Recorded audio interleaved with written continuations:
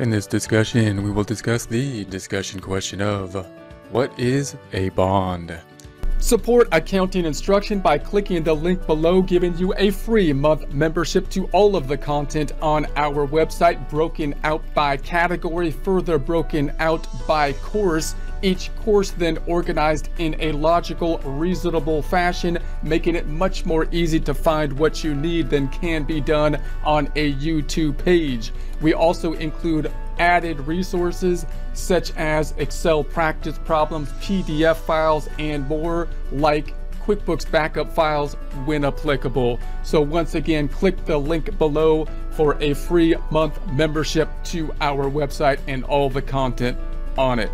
So when considering the topic of bonds, this is probably one of the broadest types of questions that could be given in an essay format or discussion question type format A couple different ways to approach a question like this. One would just be to first define uh, the bond and then probably get some characteristics of the bond and then possibly talk about how a bond might be recorded, journal entries related to the bond.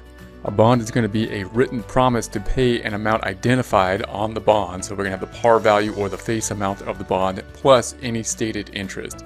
So a bond is going to be an agreement to pay the par back plus any interest. It's going to be very similar to a note in that way, in that uh, the idea would be that we would be trying to finance the company if we're going to be the issuer of the bond.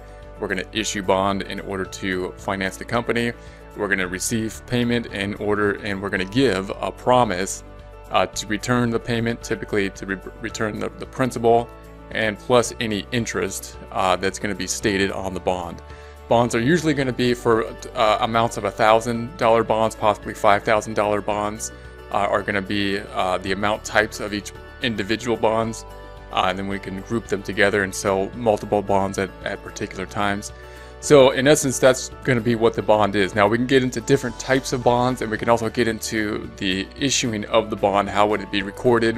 What would it mean to be recorded at a discount or a premium? Um, different types of bonds could include bonds that either secured bonds or unsecured bonds.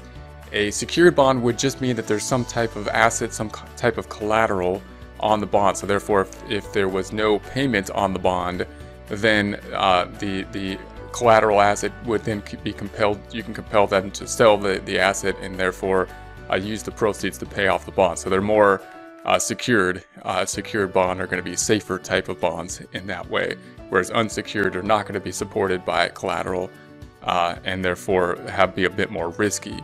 We can also have serial bonds, which are going to be bonds which are unlike kind of a normal bond, which has one maturity date. A serial bond would have multiple dates uh, that it would typically be maturing in a series uh, of dates in the future.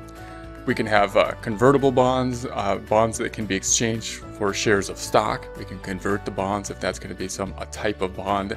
We can also have bonds that are callable, and that would be a bond that we can we can call back uh, at, at, a stated price before the maturity date. So those are just some other things that if we had a general question like this, we can we can list out the different types of bonds that are there. It might also be useful for trying to pick up as many points as possible in something like this or just add discussion to a question like this to compare and contrast bonds to other types of financing options. And when a company issues a bond, what it's trying to do is make it's trying to get money for for you know whatever it needs for the for the business. Now, obviously, revenue would be the way we would like to do that to earn revenue. But if we need to finance the business in some other way, we have a few options. We can we can issue bonds, or we can take out a loan from the bank, or we can uh, issue stock. And so we might want to compare and contrast bond financing to other types of financing just to try to pick up as many points and see what this type of question is looking for. And the bond financing is similar to taking out a loan. We're still going to have a note basically that we owe in the future. One of the main differences is that the bond we can we can uh, give to the public. So we have the ability to sell bonds. We might be able to sell bonds on an exchange even. Uh, whereas the a loan typically we're restricted more to the bank. So it might be more possible therefore to raise more capital with bonds if we could sell the bonds uh, to the public. So that's going to be one of the advantages of the bonds. Uh, one of the problems with bonds, which is similar to a note, is that we do have to pay back the interest and the principal on the bond. So we not, not only have to pay back the, the bond money that we get, uh, we have to pay back interest on, or we have to pay back whatever we say is on the bond uh, at the end, the par value, the face amount plus the uh, interest on it. Whereas we would have to do the similar thing with a note. We'd still have to pay back the note and the interest, but if we were to finance with stock, say, then we wouldn't have that. We can issue the stock and we'd get the money and we wouldn't have to pay back anything. So what? But why? What's the bad thing about that? Of course, the the stock we would be giving up ownership in in the company, some type of ownership. So so claims to the dividends, uh, claims to the value of the company uh, in case of liquidation, the net assets of the company, and some uh, voting and controlling rights we're giving up with the issuance of stock. Whereas bonds, we don't do that. We keep control uh, of the company. We don't give away any of the of the of the value of the company or any of the purchasing or decision making power when we issue bonds. But in order to issue bonds, we have to give something, and that something's going to be paying back the bonds plus the interest we're going to have to pay on the bonds. Now we, we might also discuss, you know, what the bond is going to go on the books for, how are you going to record it, what's a premium, and what's a discount, uh, just to pick up as many points as possible. And uh, when you issue the bond, we could issue it at par, we could issue it at a premium, we could issue it at a discount. And all that means that is if the bond, say, is going to have, we have a thousand dollar bond, and let's say the interest rate on the bond is 10%, then the question is, what are we going to sell those bonds for? Note, you can't change these two things. If it was a note, we would change the interest rate and sell, if we want a thousand dollar loan, if we were trying to get a loan, we would say, oh, I want, I need a thousand dollar loan, bank, and they would say, okay, well let's let's haggle over the interest rate. But here the interest rate's already on the bond if it's already been made, so we can't haggle over the interest rate. All we can haggle over is the price of the bond. So if the market rate then is different, if the market rate is say higher, if somebody's trying to give me, we're trying to get a thousand dollars from this person, and the market rate is higher, they can give their thousand dollars someone else and get 12% return as opposed to our 10.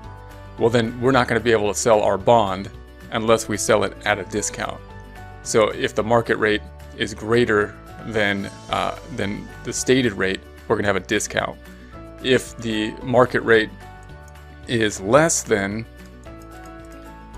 then well, let's put it down here. We're going to say it's five percent well, then someone can only go somewhere else and get 5%. That's supposed to be a 5, by the way.